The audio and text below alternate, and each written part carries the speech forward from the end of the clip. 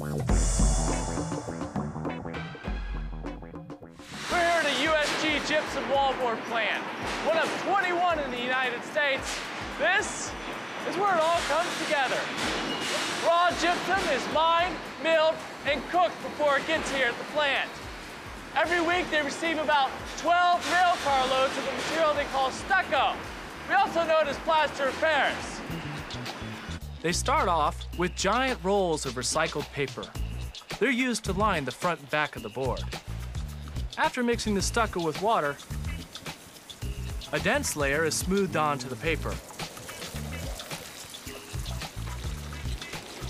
Then comes the foamy middle, which has been whipped up with air. Then, another layer of the dense stuff. A second layer of paper tops it off. This form extrudes the product to its final thickness. Before the stucco reacts with the added water, the board is soft. But by the time it gets to the end of this conveyor belt here at 600 feet, it's hard enough to cut. That's one long piece of wallboard.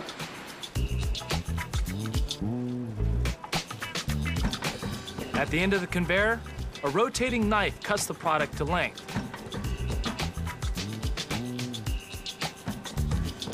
Then they're flipped to keep the face side in pristine condition.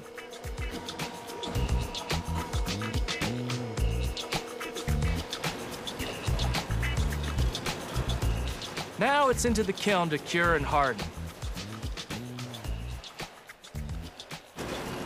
Next, the boards are flipped face to face.